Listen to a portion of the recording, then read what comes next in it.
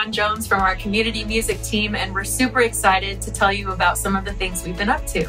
Yeah, we've had the privilege of uh, leading worship down at Exponential where it was fantastic. I mean, far beyond what we could even expect or imagine. We're also here right now at the 100 conference where uh, children all across Indiana are being blessed.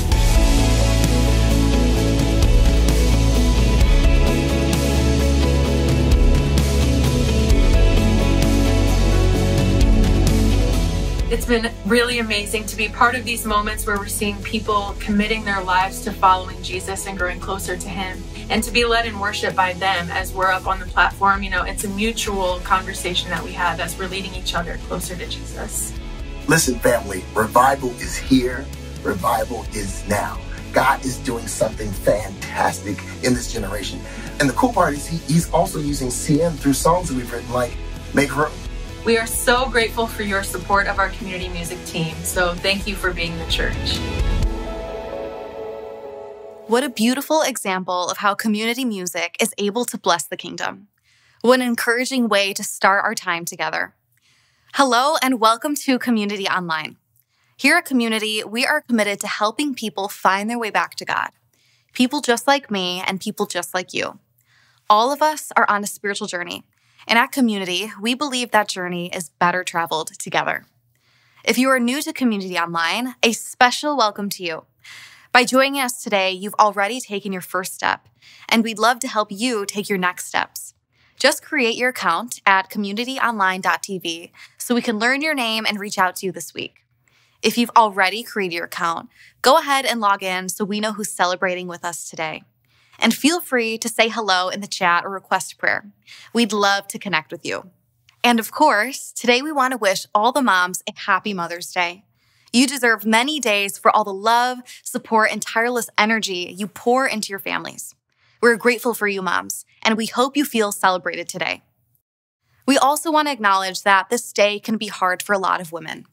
For those who have lost your mom or wish for a different relationship with your mom, or perhaps long to be a mom yourself, I want you to know we celebrate you today too. Mothering is about more than just biology. Today, we celebrate every strong, nurturing, encouraging woman in our lives. In a few moments, Community's lead pastor, Dave Ferguson, is going to bring us the first message in our series, You Plus Parenting. But first, let's take a moment to give back to God. In 1 Timothy 5, Paul reminds his young apprentice Timothy that providing for our families is one of the ways we honor God. God calls us to be good stewards of the resources he has given us. That includes how we use our resources within our homes. One of the best ways we can faithfully manage this is by creating and following a budget. A budget is a great tool that actually frees you to be generous, not only to your family, but to God as well. So let's continue to encourage and challenge one another to be faithful stewards of what God has entrusted to us. At this time, I want to invite you to give back to God. You can give and set up your recurring gift by going to givenow.cc or by texting the word give to 331 226 1686. And now, let's begin our new series, You Plus Parenting.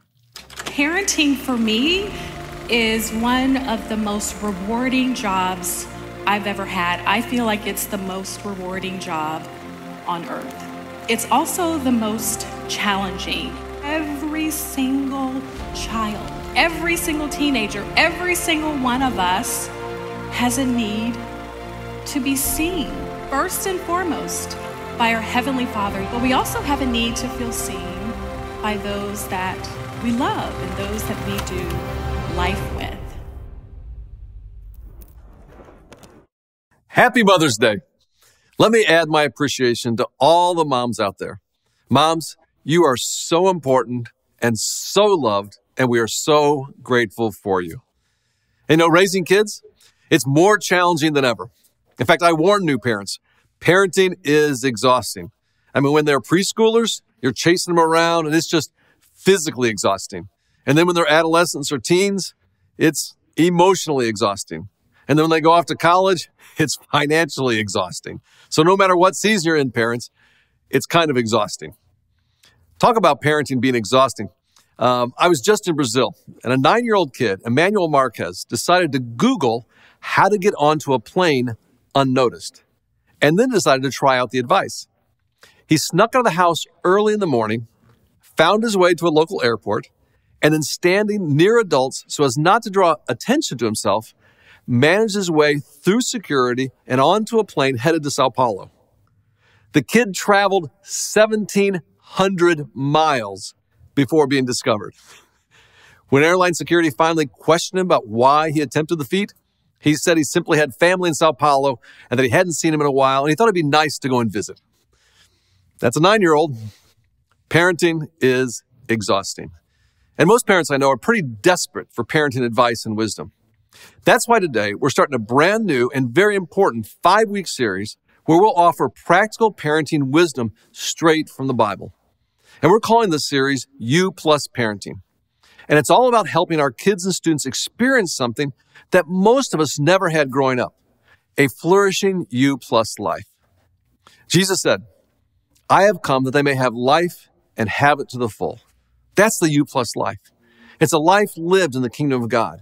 And that's what we want to offer the next generation. We want to help your child or student grow in what the Bible calls a flourishing life. And that's a life that results in a, in a growing faith, resilient mental health, solid relational skills, strong character. And yes, this series is for parents, but not just for parents. This is a series for anyone who loves a child or simply believes that what we, that we have to do better for the next generation. We ran across a great article titled, Why Your Kids Need Five Other Adults in Their Lives. This article contends that children need more than just their parents. Kids need other adults in their lives teachers, coaches, church youth leaders, family friends, and extended family. These are positive role models who reinforce Christian values and do things parents can't do. The article illustrates this by saying you have a whole bunch of contacts like in your phone. I think in my phone I have a little over 3,000. Uh, you might have more, you might have less, but we also have only a handful of what they call favorites. The article says that every kid needs to be a favorite to five other adults. Some of you aren't parents, but you have kids that are your favorite, that are not your own. The article says that if we could be that for this next generation, it quotes and says, We might indeed be raising a wider, more secure, more grounded, more Christ centered, more joyful generation than we've ever seen in a long time. I mean, wouldn't you love to see that? So, listen to me. If you're a teacher, coach, Kid City, student community leader, family friend, and uncle, grandparent, this series is also for you. While Jesus didn't have his own kids, it seems he was a favorite for kids. We see this in the story about Jesus and some little kids in the book of Mark. Now, I'm going to put the text up for you to read along, but I want to offer you a little different take on what might have happened.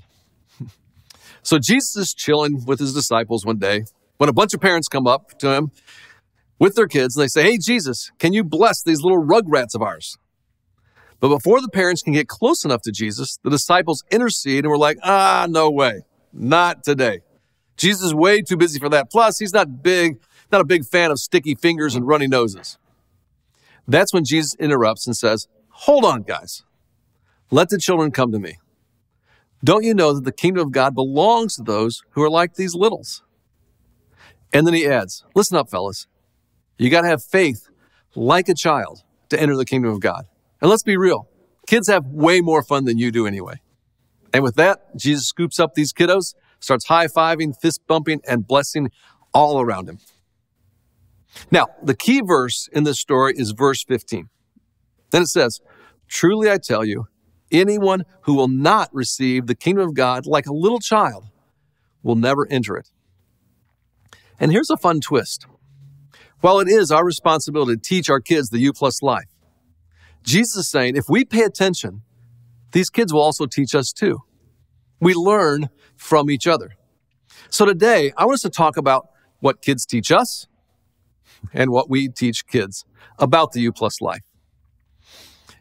I imagine Jesus pointing to the children and saying to his disciples, I want you to be like these kids.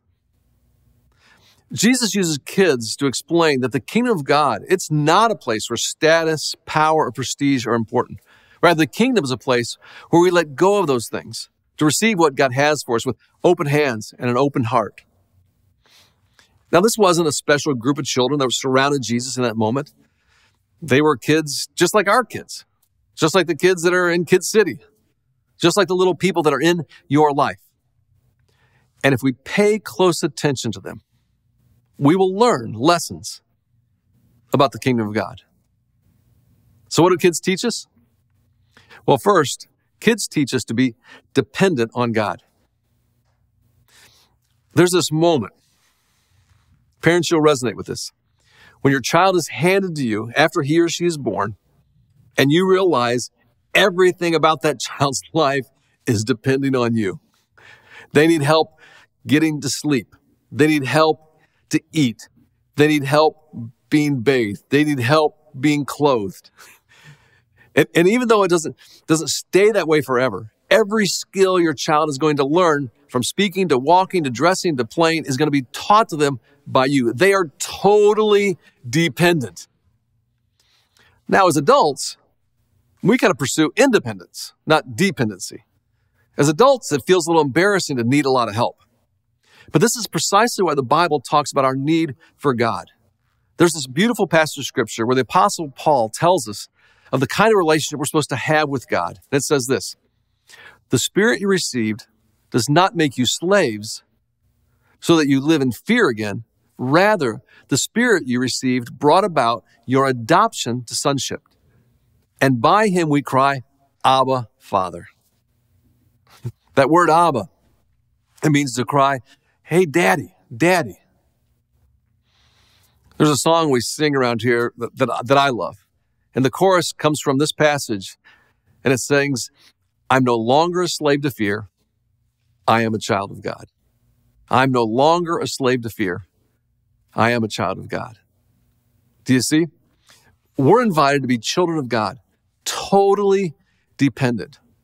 We don't need to live as slaves, simply obeying orders. We don't need to be afraid, looking over our shoulder, motivated by fear, but instead, we're invited to be children, sons and daughters that actually are totally dependent on our Heavenly Father.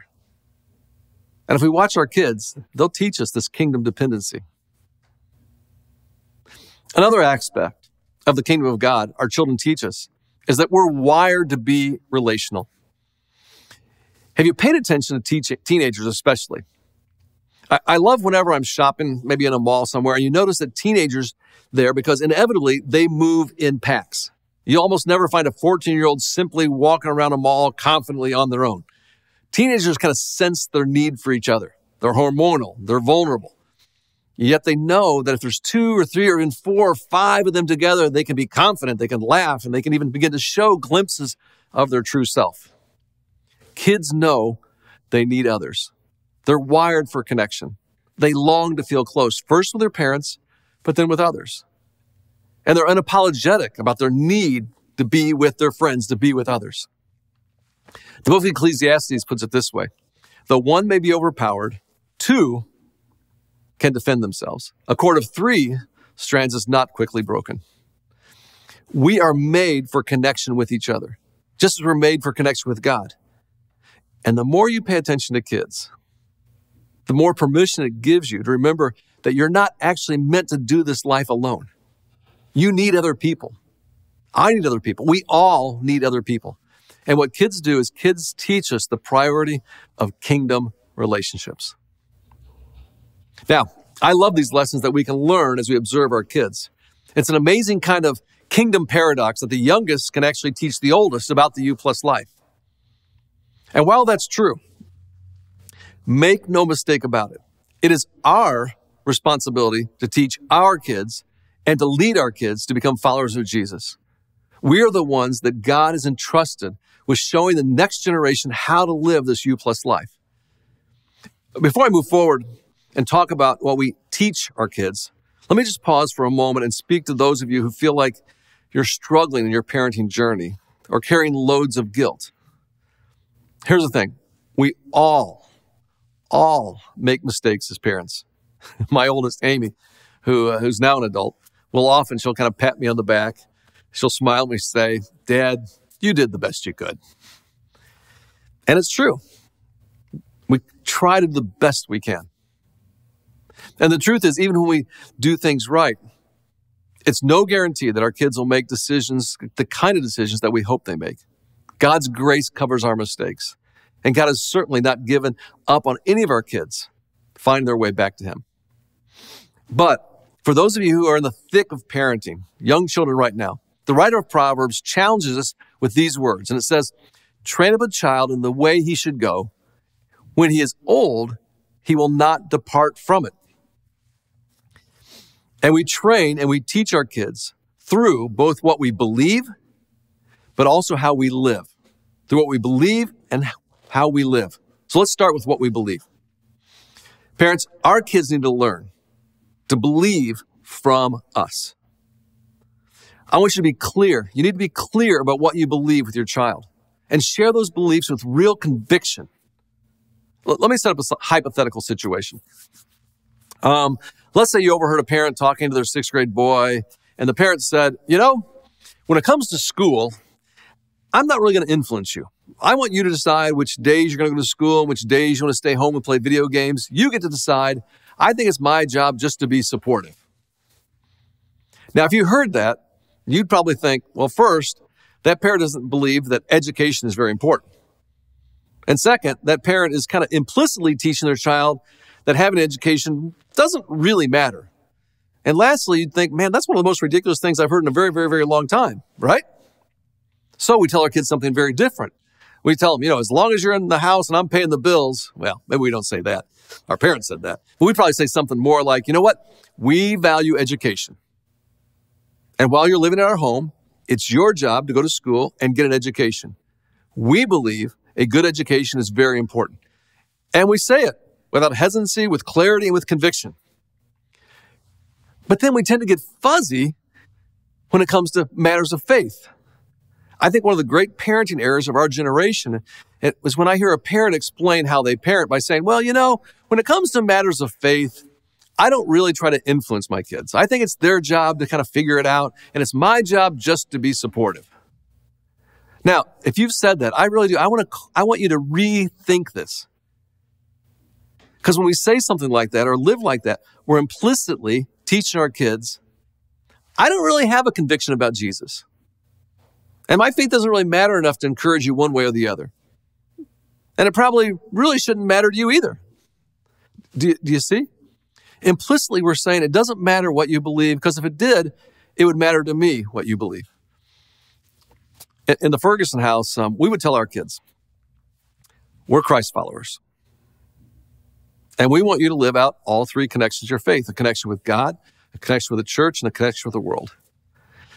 and if we got pushback, and yeah, we did, we'd say, listen, when you leave this house as an adult, you'll get to make your own choice. But this is what your mother and I believe. And I would encourage your parents. That's why God gave kids parents. You need to speak with clarity and conviction regarding what you believe. But even more important than what we say we believe is how we live. Because who you are is what you'll reproduce in your kids. If you want your kids to have a relationship with God, you have to have a relationship with God and let your kids see it. If you want your kids to have a meaningful, accountable relationship in this church, you have to be in a small group and invest in meaningful relationships in the church and let your kids see it. If you want your kids to make a difference in the world, you need to use your time, talents, and treasures to make a difference in the world. And your kids should be able to see it. Please take this in, okay? Parents, you will reproduce how you live. And if we don't say it and we don't live it, our kids, our kids will have to learn some very painful lessons through the school of hard knocks. And let's face it, all right? Let me remind you. That's what happened to many of us. Many of us have traveled a very bumpy and very painful road until we finally found our way back to God. And many of us know what it's like to live disconnected from God, disconnected from each other and our purpose in the world. And if you want something different and better for your kids, you need to tell them what you believe and show them by how you live. All right, I, I want to wrap this up with a, with a two part challenge. Challenge number one pursue the you plus life yourself. We will continue to challenge you with this offer of a You plus. We're offering you the opportunity to have what we're calling a You plus conversation, and then for you to create your own You plus plan as a growing disciple of Jesus. We've had over 400 people do this. And, and here's what they are saying. My name is Delia, and I've been attending community for five years. My You Plus conversation was, it felt like a first date. it really did. Um, I hadn't ever had a conversation like that. It was more so me just kind of saying out loud a lot of the things that I thought to myself. I felt almost relieved saying a lot of that stuff out loud. It's not something that I talk about with other people often. Um, it was just kind of like between me and God. So it was really cool to have somebody else affirm where I was and that I was doing like I was on the right path. I'm sure a lot of people don't get to have the conversations around their journey with God. Um, they maybe feel that they're going to be judged or they maybe feel like they're not where they should be. I can see a lot of resistance around that, and that's not what this conversation is about at all. This conversation is more so about your needs. If I want a deeper relationship, what does that look like? If I know where I'm at with God and I want to, you know, bring more to the table and do more, how do I do that? Don't be afraid to have a conversation like that because you know, they say God sends people in your lives for a reason. And I think this is one of those things where He could really work through somebody in your life. My name is Joe, and I've been coming to community for eight years. So the pre work was great. It really set up for a great conversation to be had. And in that experience of having a conversation with someone who I had, who I love, who I have a ton of respect for, it gave me a chance to really explore what's next and what's more for me. Really, the conversation was about me and my relationship with God. There was nobody judging, there was nobody testing, there was no wrong answers. And that to me was the best part is that it just was a reflection point for me to say, hey, these are your answers with your relationship, your personal relationship. Where do you want to go with this? One of the things that I have asked God to do in my life is to bring divine appointments into my day. And this is really special for me because I've always felt that I've struggled with wanting to share my love of Jesus with others and how to do that. And through the Holy Spirit, through that time, through that prayer, these divine appointments have been coming again and again and again. And it has been amazing in my day to just say, Holy Spirit, you lead this day, and I'm just here with you. And it's been wonderful. It's been it's been absolutely wonderful. My name is Berta, and I've been at community for five years. You know, when they say do pre work, I thought I was going to have to literally write an essay. So I was real hesitant about even signing up for it. I said, oh, uh, I can do that another time. And it was only nine questions, you know? So it really prepared me for the conversation. And the conversation really made me dig a little deeper about some issues that I had pushed down that I wasn't aware of. And what really came out of that conversation was I needed to arm myself with God's word on those days and those moments when I felt that fear, that shame, that guilt. So one of my goals was learn my scripture, memorize my scripture, and remember to arm yourself when the enemy tries to get in to tell you that you're not worthy. I am worthy. Remember, Jesus and his disciples not only did ministry together, they did life together. And that's what he wants for us to live the You plus life. you know, not on your own, not trying to figure out things on your own and go off and do your own thing. It's that inward out that where he's going to do a work in you. And then you can be that next influence for that next person. What you've been through can give that person the encouragement. You know what? If she can go through that just like me, I can I can change too. It's all about you. You plus. It's all about you plus. We're never meant to do this alone. He did not mean for us to do it alone. He didn't. He didn't. Remember, you will reproduce who you are. So go ahead, scan the QR code, sign up for a You Plus conversation. And I would say, do it for you and do it for your kid. All right, here's challenge number two. Challenge number two is parent your kids in the You Plus life. I am so excited to announce the release of the You Plus resources for kids. Our Kid City team has put together a resource so you can start intentionally having a conversation with your child about the relationship with God. It's going to be really good. Make sure you get those and make sure you use them. And a student community edition is also coming out this summer during our student community summer camp. So also be looking for those soon. To close, because today is Mother's Day, I want to offer a prayer specifically for our mothers. Now, I know that Mother's Day can be hard for many those who are disconnected from their moms, or those who wish to be a mom but are not yet.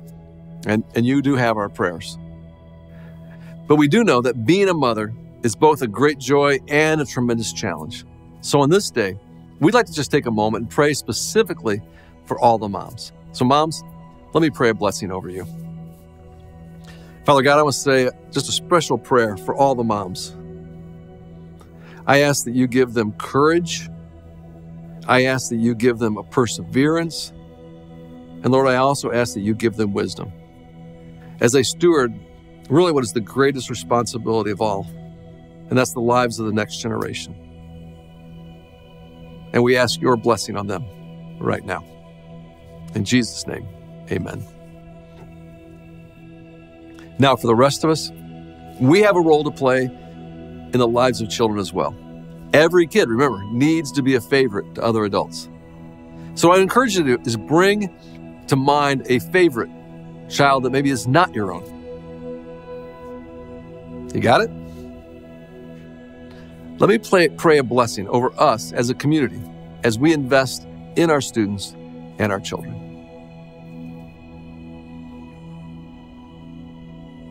Father, I want to pray for us as a community of people that we do prioritize the lives of students and kids, that we see the potential in them, that we see the growing faith in them, and that we encourage that, we nurture that. And as they look at us, let us be people that model for them what we're calling this You plus life.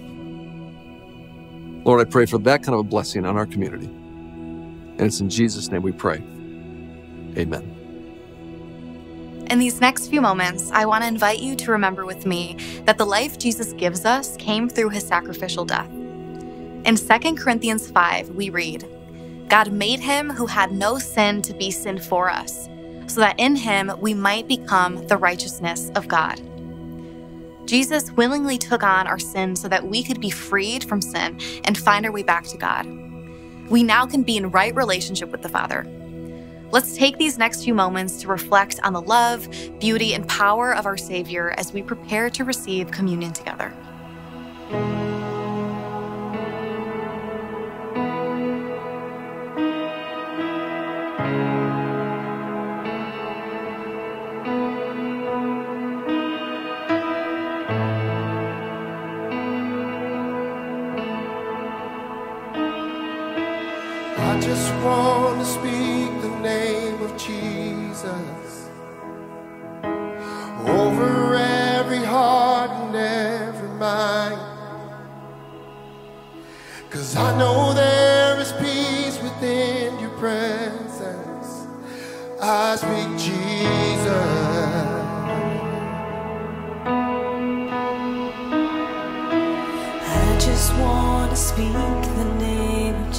Jesus. Till every dark addiction starts to break. Declaring there is hope and there is freedom. I speak Jesus. Cause your name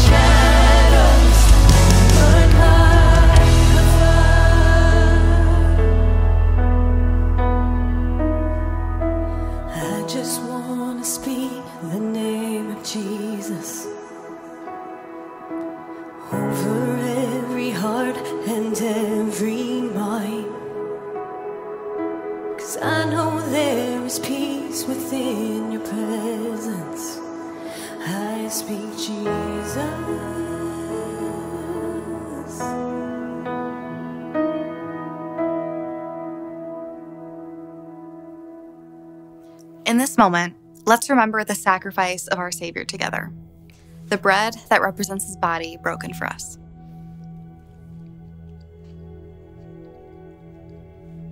The cup that represents his blood shed for us.